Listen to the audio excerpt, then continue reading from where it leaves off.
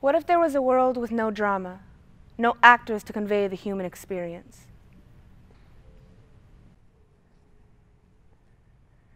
What if there was a world without choirs, a world without voices raised in harmony? Imagine a world without dance. Imagine a world without jazz, without tap, without ballet, without hip hop. Imagine the stillness. What if there was a world with no musical instruments, no musicians to express themselves, only silence? Imagine a world without art, without painting, without drawing, without sculpture. Imagine the emptiness. Fine Arts is alive and well in Galena Park ISD.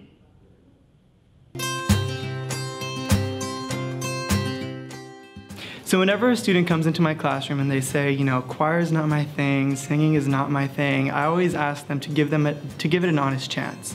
You know, I don't expect for them to come in being able to sing like Beyonce right off the bat. Uh, but what I do is I try to make them I really try to relate the music that we're singing to whatever is going on in their lives. And a lot of the times, you see that spark in that kid's eyes when, you know, they get the right dynamic and they hear what the choir sounds like and it sounds great. They get that spark in their eyes like, I want to do that again. I want to be a part of this. And a lot of the times that continues over. They're able to, to sign up for the program again with the confidence knowing that they're going to get that feeling again next year. My choir director, she was amazing. She brought so much out of me. She helped me grow. She gave me opportunities. Not only did she help me get better at singing and playing the piano and music, she helped me come out of my shell in every other subject. And since then, and I credit choir for that. I can speak to people no problem. I have better relationships with my teachers. In class, I'm not afraid to raise my hand and it all started in choir. If we didn't have music in our classrooms for our students, they would not be able to achieve creating 21st century skills like teamwork, like communication skills or creativity skills. Uh, music is a humanity and it plays toward creating a whole human and teaching to the whole child.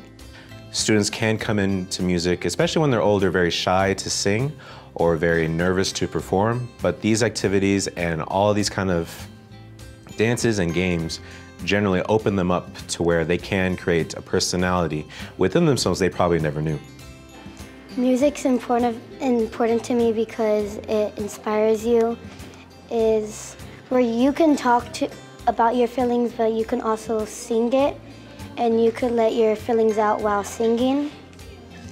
And every time when I sing, I feel like the stress I've been having like relieves off of me. Students need to feel valued and appreciated, which is how I was made to feel growing up in these programs.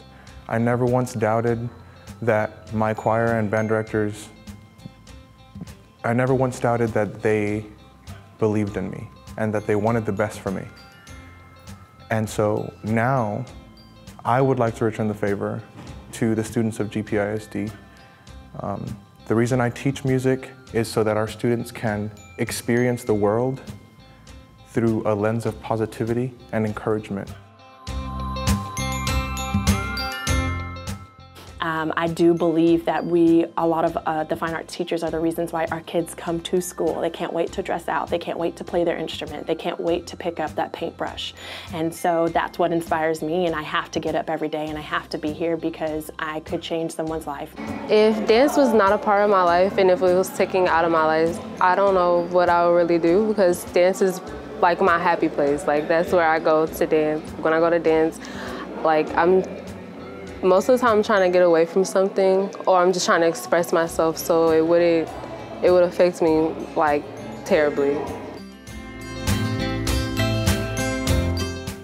This is why I pursued education and theater provides the opportunity to come together and um, work with my students alongside. They are the managers and directors and they're the technical directors. So we work as a team.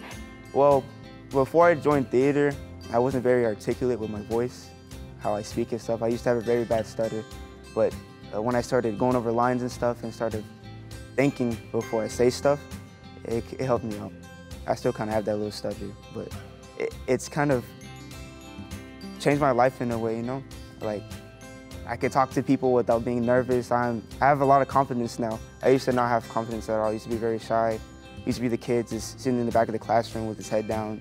If I didn't have theater, I'd be, I'd be a lost soul, man. I, I, I can't really imagine me not being on this stage, not knowing these people, not bonding with these people, not having this family that I have here. I, I can't imagine it. My life with, without theater, When students first come to art, they come in kindergarten. That's their very first exposure to art. When they begin learning, we start with learning the very simple things like lines, shapes, colors. Students create things that are filtered through their own experiences that they can share with the world. I think at this age, I teach um, middle school, and middle school for me is the most experimental. And so they learn um, how to be confident and just to make mistakes and just to create. And I think that's the important part of middle school art. I think the impact that art has on my students' lives is allowing them to be creative, to think outside of a box. So in other subjects, there is one answer to a question or to a problem, like a math or a science. But in art, there are multiple ways to solve a visual problem. There are multiple ways to um, express yourself. Uh, I have kids that come in early in the morning, sometimes beat me uh, to school, and I get here at 6:15, and and they're working, and and they're they're working on things. They're excited to show me what they've worked on, and uh, and and they're passionate about it. They keep a sketchbook with them at all times. Uh, they may even sleep with their sketchbook. They love that thing so much, and uh, but I see that some of it, it's nice when you see the other kids in the school come up to them and they're like, man, that's so cool, you know, and and uh, they have their artwork on display and they're like, is that your artwork? That's amazing. And to see that big smile on their face, uh, knowing it makes them feel good that, that you know, they're recognized for that.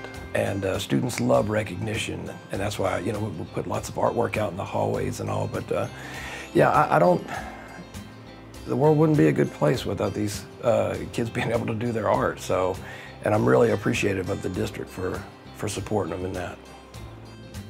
Art is really a big influence in my life because it affects what I do here because I've had art for a lot of years now, going back to middle school, sixth grade until now. I've kept with it. It's something I see as a passion. And without it, I'd be left with a pretty big hole in my life. When they set foot in the door, they know nothing about playing an instrument. Usually it's the first time they've ever picked up one. So that's kind of a magical moment when the kids start to begin to love their instrument. So I know most of the time you hear success stories about high school and how they eat, breathe, and sleep band, but this is where it gets to start. And you know, the kids feel a part of a community, they have a place to fit in. We have dozens of kids here every day after school for, for hours and hours on end, taking private lessons, hanging out, doing homework, practicing. Uh, where would they go? What are they going to do? How are they going to develop those interpersonal skills? How are they going to develop the practice, the work ethic, the responsibility? I don't know what Galena Park would do with all of these students and all that free time if fine arts band specifically was just to disappear tomorrow. My passion for playing trumpet, it's everything for me. Every single day after school, I come here and practice and practice nonstop. I eat, sleep, and play trumpet. It's like my basic life. To me, to have an opportunity to help uh, mold and guide uh, these students. This morning, we were talking about um, the incredible value that this time in their life has, that um, how much the next three to six to seven years is going to affect the following 30 to such a huge degree. And to have this incredible opportunity uh, to get to be here and not only just to spend one class period a day, but the time after school and see them every day um, and have opportunity to, to build relationship and, um, and to build family like we do here um, is an incredible blessing. We teach them life skills. how to manage time, how to use resources, how to achieve a goal, how to meet deadlines. All this stuff, you can't get through life and be successful if you don't have these skills. We don't teach just music, we teach how to survive life. Every day, I teach students from around the globe.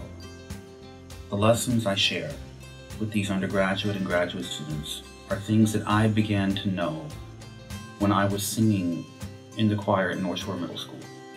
The first music I ever composed was for my high school band. I was in GPISD for 12 years and I never once had a bad teacher.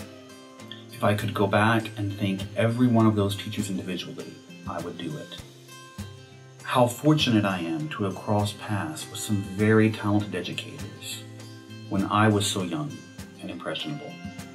We are all the products of our former teachers, our parents, the books we read, the places we go. I am just one story of many former students to come from Galena Park. We are all GPISD.